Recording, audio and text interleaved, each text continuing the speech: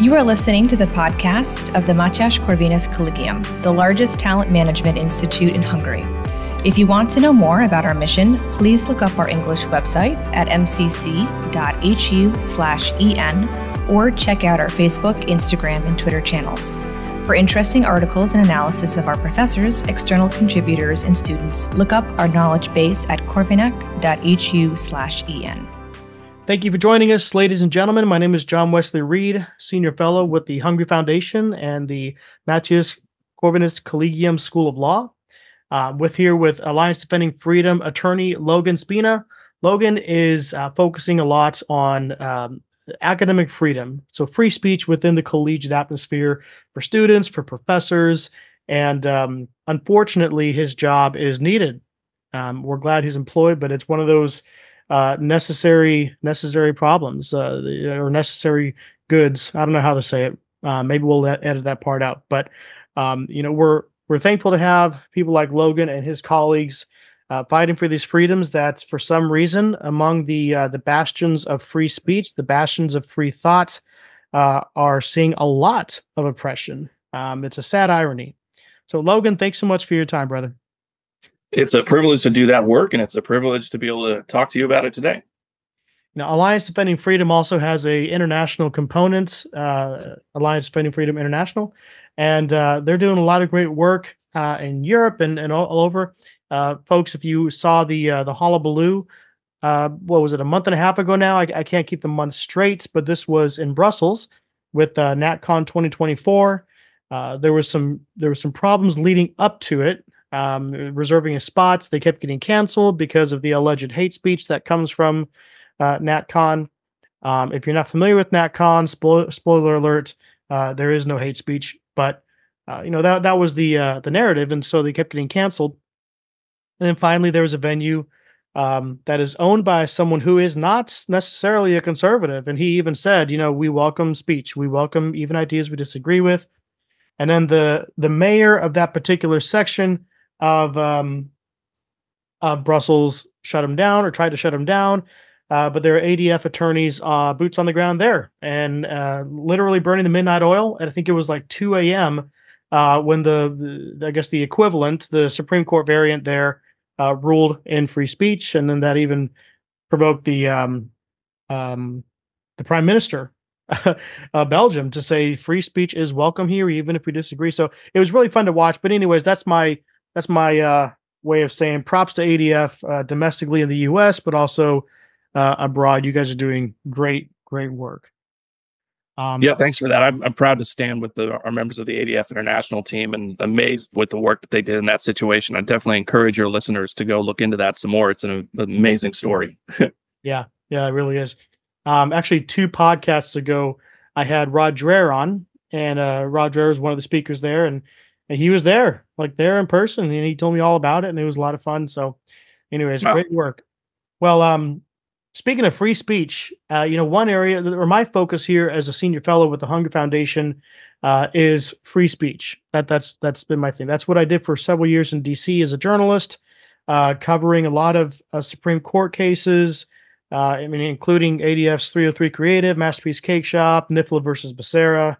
Um, and so that's just that's why I was assigned free speech out here. Um, but one of my jobs is to focus on writing, but also interviewing the experts on niche topics within my focus. So one topic among free speech that is not talked about too much is speech versus conduct. Now, for those listening, while you might not know the, uh, I guess the soft title of speech versus conduct, I am positive that you have seen some sort of battles where that has been the core, where somebody, a typical example, I should say, is where somebody will say, Hey, I was just, you know, expressing my opinion. I was just, you know, free speech, whatever. And I was arrested. And while it's true that they were expressing themselves and the what they were saying was not necessarily a violation. It, it, it was protected speech what they were doing while they were doing that expression was not legal. And Logan, I will let you take it from here. Speech versus conduct. It, it is a great topic. And as you pointed out, it's sort of remarkable how little it's discussed when it really is the first question in any free speech case, right? Was there speech at all, or was this just conduct? And then and then there are additional nuances we can get into when it comes to this distinction between um, when it comes to the distinction between expressive conduct and other things like that. But but the first question is always going to be, you know, that that basic distinction bes- between speech and conduct. And I think it's most obvious when we're talking about sort of these recent uh, disputes on college campuses related to the war going on in Israel and Palestine. So you you see people there claiming, for example, that occupying a building, taking it over, or setting up a tent city on in the middle of the quad where you're trespassing or assaulting other students or tearing down their expression by tearing down the posters related to hostages or things like that the claim there is that that's somehow expressive or speech when it really is just law breaking activity. You're trespassing, you're attacking other people, you're tearing down other people's expression. And so the basic point there is the First Amendment simply doesn't protect that. Now, as you pointed out, there can be times when conduct is also speech. An obvious example is something like sign language, but other things, you know, that get a little closer uh, to to something that's not sort of linguistic conduct, but it's still conduct designed to express th- there's still some protection there. So things like burning the flag, for example. But even then, if the government's regulation is directed at the conduct, you can't complain if your conduct violates that kind of a law. And so, to sort of explain that distinction, it goes back to a case called Texas versus Johnson in 1989. And there, the law prohibited flag burning. And so it was it was deemed to sort of target that conduct because of the message that was being expressed there, as opposed to say, for example, a law that says you can't set a fire in the middle of our in the middle of our street, right? If you if you if they prosecute you because they have a law that says no fires in the street and you burn a flag there, there's no danger that the officials are targeting you because of your political message of burning the flag because they have a rule against burn, burning stuff in the street in general. But if their if their law only targets people who burn the flag then all of a sudden it's clear that there's some desire to express a particular political view that they don't like sort of a view that's offensive to their sense of patriotism. And then there's some first amendment protection there so there is some protection for conduct, but it's never going to be when you're violating general rules that apply to everyone, like no trespassing, no assault, no vandalism. So that first question is always critical, and it's usually something that gets missed, especially in my work in college campuses. And yet, if universities were simply uniformly enforcing the rules that they're allowed to enforce, which include uh, conduct that violates their university standards or the law, many of the problems that we see on college campuses either wouldn't exist or would be a lot smaller. Fun fact um, Texas versus Johnson, the actual. Um, the actual the, the guy there, Gregory Johnson, in the in the uh, '89 case, uh, just a few years ago, went outside the White House and burned a flag, and was uh, I don't know if he was arrested, but him and his crew were detained for that very purpose. Is like, look, we're not saying you can't burn a flag. We're saying you can't light light a dang fire right in front of the White House. You know? I was I was there. I was like, oh, this is this is kind of cool. I, I didn't I saw it happening. I didn't know though at the time that it was Gregory Johnson eh, himself. I, I read about that later. I was like, oh, that's one. Yeah, you, you can imagine the guy thinking, hey, I won the Supreme Court case on this, so now I sort of have a license to burn the flag anywhere. Exactly. But it turns out that's not true. it also shows that he probably wasn't paying attention to the the actual jurisprudence there, but it's all maybe maybe so. Yeah. um. So I I want to ask you a question. This is actually really cool. I wasn't planning on asking this, but you said sign language could be considered conduct. Did I hear that right? Well, so so the I was just sort of getting to the point that there is a range of expressive conduct. Um, and so, you know, so so sign language is not words coming out of one's mouth it's it's not it, it, may not be the the sort of thing you think of as the dictionary definition of speech but it's it's linguistic conduct right? I mean it's it's very clearly what you think of as speech. It's just that you're using motions to express a message. And that's sort of very obvious that's sort of the so if you're thinking sort of the spectrum of how conduct can be deemed expressive that's sort of obviously on the line of we're gonna we're gonna view that as speech. And yeah. then there's other things that are less obvious. And there's there's an there's a there's a a few different legal tests for for for expressive conduct too. But I think what matters, I think, for listeners is to understand when the conduct violates a rule that governs when the rule governs conduct and it doesn't care if it's expressive or not like don't burn don't burn anything as opposed to don't burn the flag right that's going to be a situation where the rule is going to be enforced and even if you yourself in violating the rule had intended for your conduct to be expressive sort of like like graffiti right? That's that's obviously written speech which is normally protected by the first amendment. But if you're writing on somebody else's property that's vandalism yeah. and it's not going to be protected. Yeah no i totally i totally get what you're saying. I i was just making sure that i didn't miss something. But yeah no it totally makes sense. Um you, you said you brought up texas versus johnson. That that's one case that i did study uh somewhat in depth uh, a few years back. And what i found to be so fascinating is that it really did expose uh, the tension between uh, maybe not so much uh, conduct and speech, at least at least with the particular uh, context that I'm referring to here is, but it was more of the um, should it be protected, even though it is highly highly offensive. And what I really found fascinating is that uh, this was not necessarily an ideologically split decision. It was mixed on both sides, just like it's been mixed. Um, uh, I mean, the U.S. House of Representatives several times has tried to pass uh, flag burning laws, and uh, several of those times, the yeses and nos were also mixed. You know, these days everything is, or a lot of things are uh, partisan lines. We see that. Yeah. Uh, but it was very mixed. And another thing that was really cool is that uh, we know when you consider the time of Texas versus Johnson, it was in the 80s. You know, Supreme Court justices are typically up there in age. Uh, and then when you consider the timeline of World War II, I think there were three two or three, maybe four, but I think I think there was about three justices who were in the military during World War II. One of them, I I, I wish I would have had you told me you were going to bring up Texas versus Johnson, mm-hmm. I would have gotten some names out, but it's okay.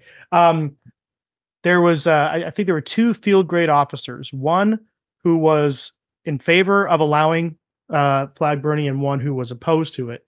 Um, and so even you know both of them had a great sense of patriotism, not just you know, militarily speaking, but also, I mean, the, if you, I'm sure you know this, but for those listening, the tension in their opinions is so so heavy.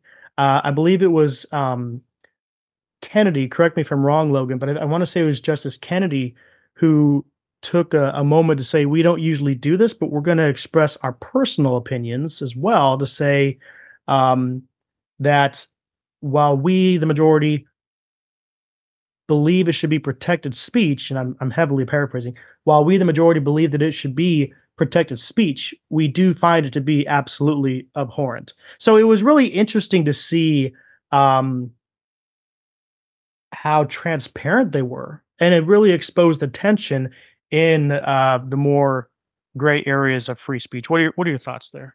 It's it's a really good point, and it actually I think the same reason that the First Amendment has to uh, extend to offensive speech is one of the reasons that we distinguish speech and conduct in the first place. So I'm going to try to tie kind of two different points together.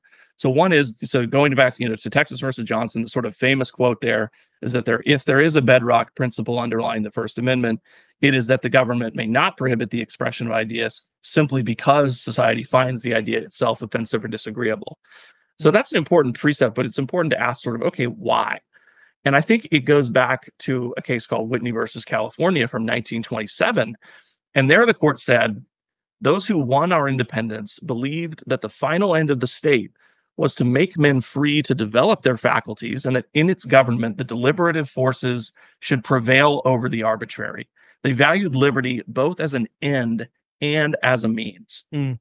I think that's true. And I think it even connects to something more fundamental, which is the Declaration of Independence, all the way from 1776, where it says that, you know, all men are endowed by their creator with certain unalienable rights, that among these are life, liberty, and the pursuit of happiness, that to secure these rights, governments are instituted among men. Okay, so there's rights that are prior to the institution of government.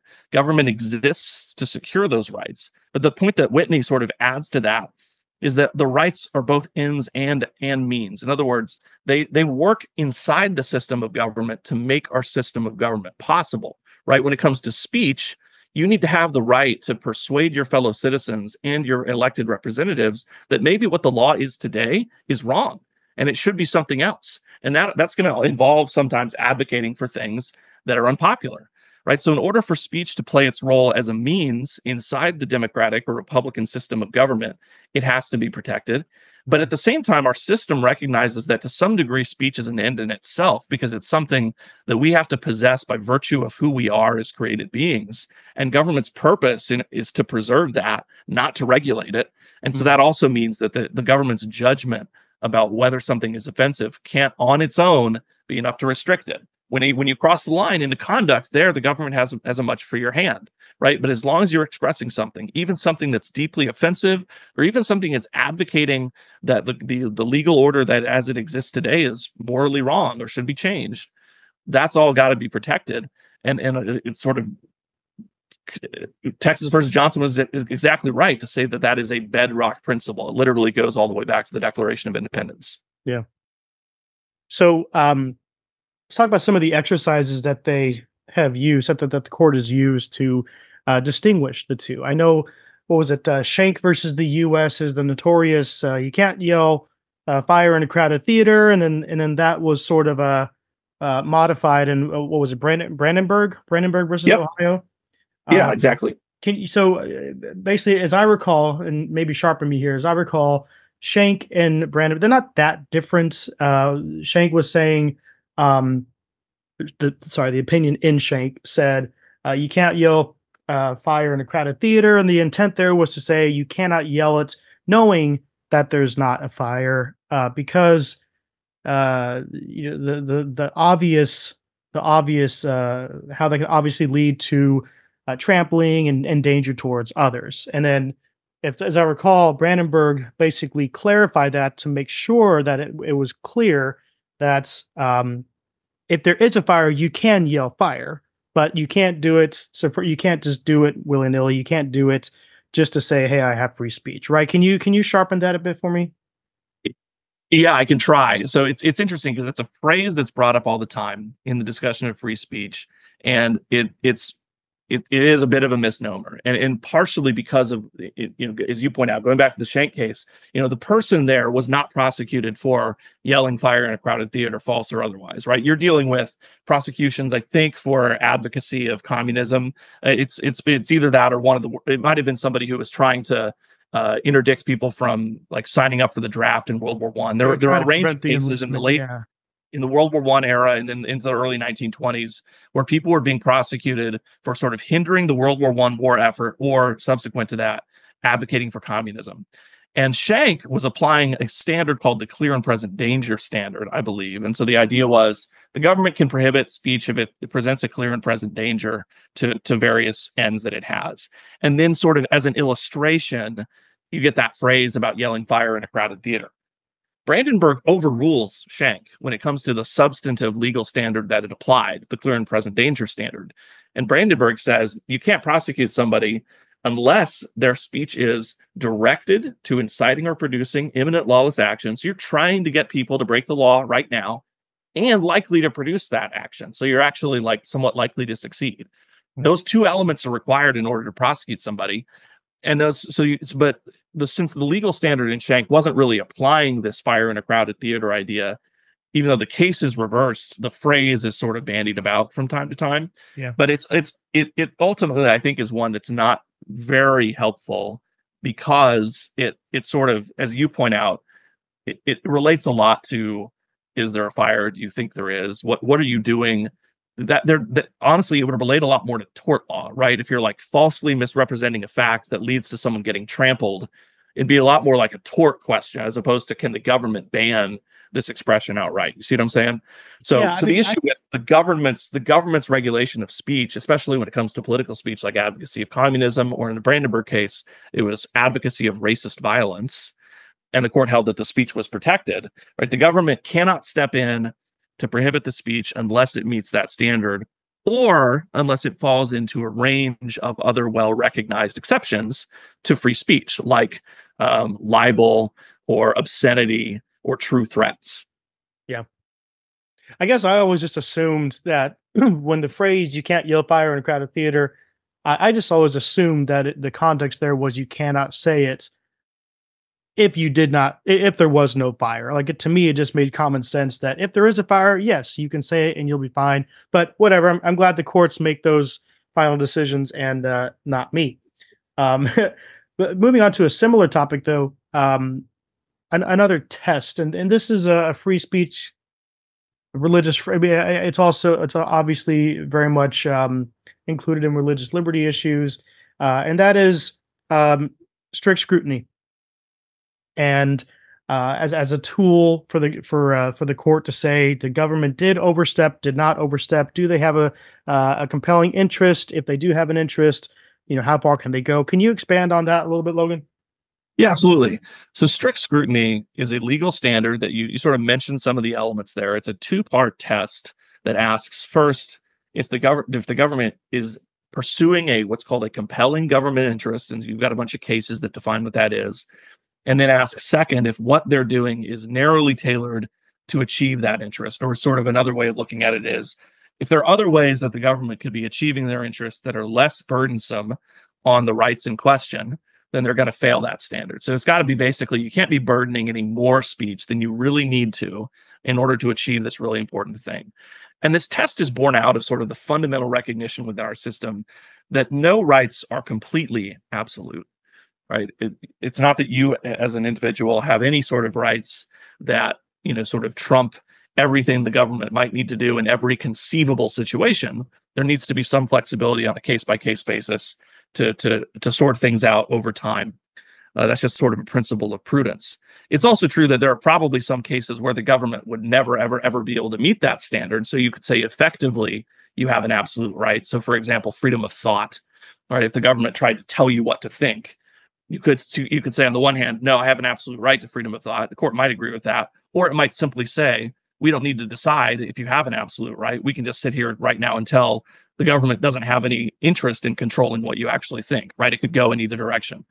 But strict scrutiny is basically a standard that is applied when the government regulates fundamental rights like free speech or free exercise of religion, and then uh, especially in the area of speech, if its regulation is based on the content of speech. So if, if the regulation says, here's what you can and cannot say, versus, for example, here's when you can say it, like no no no loudspeakers at three in the morning, right? That's what's referred to as a time, place, and manner restriction, which will not be evaluated at strict scrutiny. But if it says no political speech at three in the afternoon, all of a sudden you've got a content based regulation, and the government's only going to be able to do that if it passes that high standard.